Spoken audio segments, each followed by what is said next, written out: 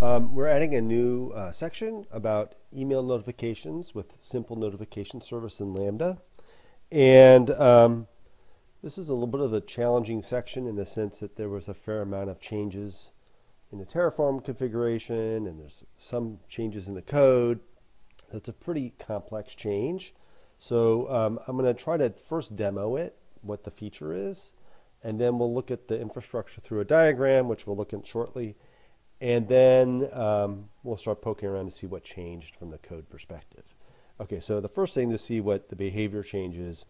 Um, this is the same app on To-Do. This is the final solution. I'm logged in as a particular user. Um, I have not yet created uh, any uh, to-dos yet. So I'm going to create my first to-do. And um, hello world. I'm going to hit create. And um, creates the to-do. Nothing really changed. Behind the scenes, if I go to my email, I will have gotten a notification. Um, says says, hey, you've been subscribed to some topic. To confirm, hit confirm. So I'm going to confirm it, and I'm confirmed.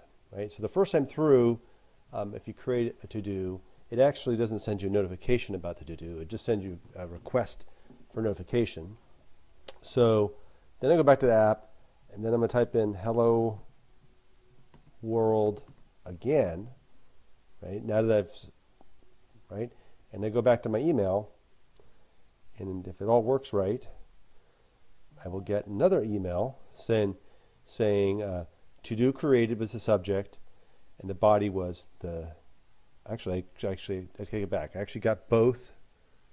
Uh, actually, yeah. I, here's the one I expected. I think I did this earlier when I did a test earlier, just so you know. Um, this one, this original Hello World, you should ignore actually, because that one was a test I did earlier. I did. I shouldn't have gotten the first Hello World because I wasn't subscribed at that point. Um, so I only get the second one, the Hello World again. So any going forward, any time I create a new to do, it's an email me. So that's basically the feature. Again, this is just pseudo code, you know, sample code. It's not like super robust, but enough to prove out some main concepts. Okay, so let's look under the hood now and see what it took to make all that happen. Um, and then see if I can do this justice in this diagram. Okay, so um, there's sort of two flows. There's the first pass flow, where the first time the person tries to create something, once uh, things happens, and then there's a you know subsequent pass throw um, that's basically every time afterwards. Um, and then there's actually there's one little step is only if you're confirmed there's one step that happens. So if you're not confirmed, that step doesn't happen. Okay, so let's go through the whole thing. For the first pass, when I first created to do, um, the the endpoint, the, the ECS task itself, in the code, it actually says goes to SNS, which is simple notification service, and says subscribe this user, basically. Okay, it then goes ahead and creates, there's an entry in a DynamoDB table, a new one called subscribers. It creates just basically an entry in that table to keep track that that person's now subscribed. Um, and then, then it creates a to-do, right? And, and essentially in terms of notification, well, let's, okay, so, so that, that's, okay, so to-do is created. Um, let's continue the flow. Now, there's a Lambda function that's already now is also now created. That's new that's listening is being triggered by that the stream, the to-dos, to-dos table stream, triggers Lambda to run, which then publishes to an SNS topic saying, hey, this to-do has been created and push, pushes the body into the topic. Okay, so now on that first pass, nothing else really happens because that person isn't subscribed yet, hasn't confirmed their subscription, so that it pretty much dies at that point. Um, what happens then behind the scenes, the user, um, when, they, when the subscribe happens separately, there's a request sent to their email and they presumably confirm, right? So then let's go through a second pass scenario. The second pass scenario is I create the to do because I've already subscribed because it knows it looked in this subscribers table. It's not going to do one and two. It's going to go right to three. It's going to create the to do. It's going to trigger a Lambda function. Lambda function again publishes to the SNS topic, but this time the, the subscription is now active. it's confirmed, right? And as such, the notification email gets sent. So that's essentially the sort of the entire flow of the code uh, in visually in a diagram. Okay, so quite a bit going on. So let's now look behind the scenes and see how this all was accomplished. So let me pause for a second to get myself organized. Now we're back. Um, so what we're looking at now, a lot of the new work was done in Terraform. Um, so I wanted to kind of, and, and there was, the Terraform config got started getting very long. So I broke it into modules. So there's some big changes in the Terraform here. Um, so the main thing is there's still a main entry, but now we have two modules. One's called ECS and one is called Lambda to do's create publish. And the ECS is essentially what was the old code for creating the ECS, um, the Elastic Container Service infrastructure. And this Lambda now is all the new Lambda for this one Lambda in particular. Okay, so the, the first change, and again, I'm not going to go through every line of this, but I'm going to try to cover the broad strokes of what changed. Um, first of all, in the main, you will notice now um, there's there's the, there's the two modules right there. But um, first of all, one of the things I did was I went back in and I now create the tables through um, through Terraform instead. It just got to be unwieldy to think of it any other way. So there's my to-dos table that was manually creating with the command line tool. Now it's here being created through uh, Terraform. Likewise, I create the subscriptions table. Excuse me.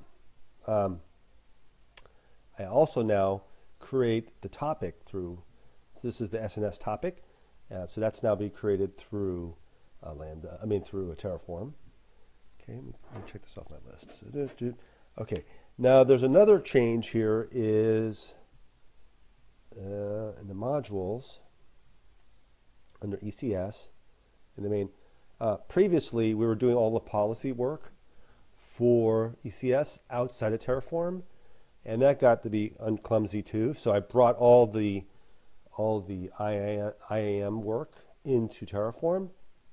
So one in particular, there was a custom policy which ran which basically gave the ECS task the ability to um, work, uh, just to run, right? And, and now the, one of the things that that task needs to do is that task needs to be able to do a subscribe step. That was the one of the steps in that diagram. I think it was like two or whatever it was. But basically, the ECS had to be able to send a subscribe to SNS, and that's what essentially what this this is now doing. So that's another change. Okay. Um, another change is actually in, um, we have to actually go into uh, the console to see it. So let me at least point it out.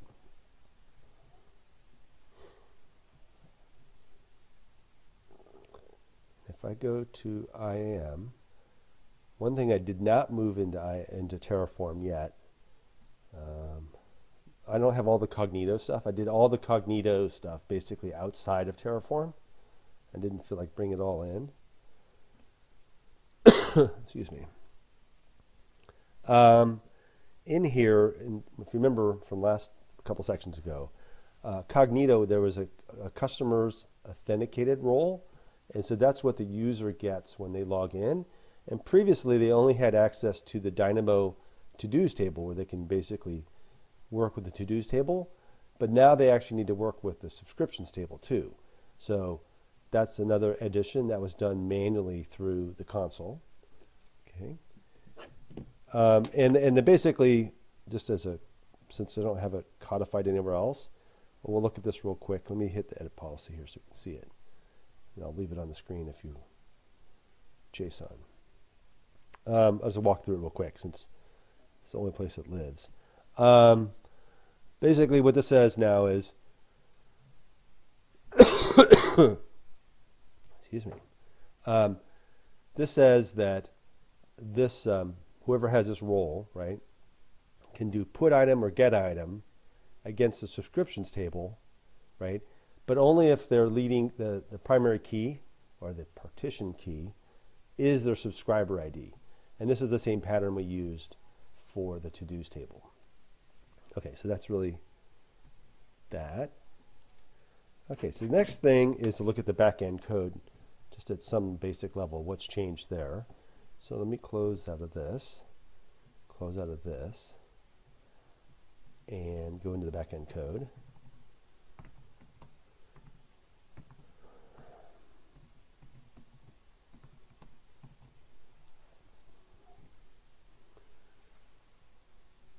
Okay, so the main changes here, again, all this is linked in the repo, right? Um, go to the top here. So the main changes is there's now a new called initialized subscriptions table uh, because now we have to deal with the subscriptions table. That's one major change. Um, the only other major change is under create. There's some logic here that's new. So this is the create, right? And right now, do not want that. Um, so uh, this is this is the post command to dos, which then calls create, right? And the main thing it does it in this case it initializes the subscription table because it has to work with that table, and then we basically try to do the first step is we do a read against subscription to see if this user already has a subscription, and if they don't have a subscription, right? Then we trigger off the SNS subscribe, we update the table, and then we continue on with the regular flow, which is creating the to-do. So that's the main changes in this code. Uh, otherwise, it's basically the same code. Okay, that's the backend code. And then, um, okay, so the next step is the Lambda business, right? So wh where this is defined is in okay,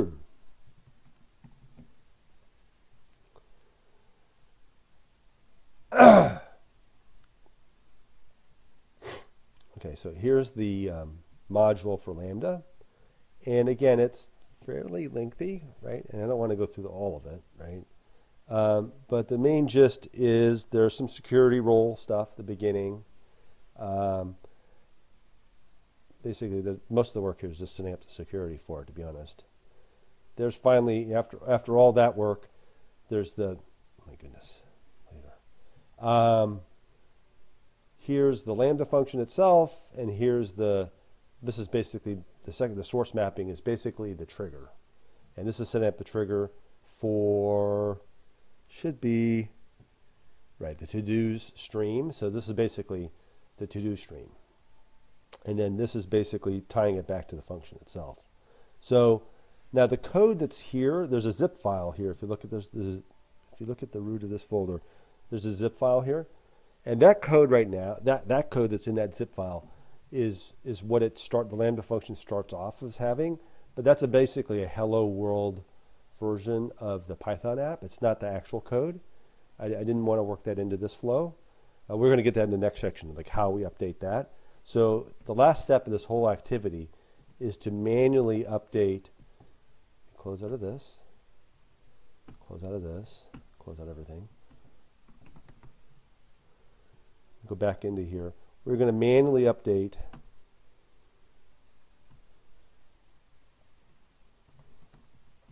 Let me get to it. Go back to the console. We're going to find the Lambda function after we've built it through Terraform we go into the Lambda function manually, and we'll see it here. And now I've already updated it, but if you were to come in here, you come into here, you would see this being a hello world version of Lambda function would not be the final version. And you're going to copy and paste into here and then just hit save. And the Lambda function, let's look at it more carefully. Um, again, that's this is linked in the repo or in the store in the backing story here.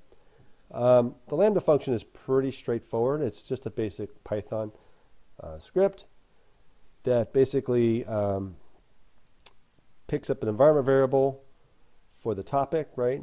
And after that, it basically publishes, there's a publish step here. It basically, you know, reads out some variable values out of the event and then does a publish to the SNS topic. So that's all it does. And that's all there is to it. Um, yeah. Okay, so lots of bits and parts there. Um, and again, I'm not really sure how well you're going to be able to piece it together yourself, but at least I wanted to point out where all the pieces were and how they kind of work together. Thank you.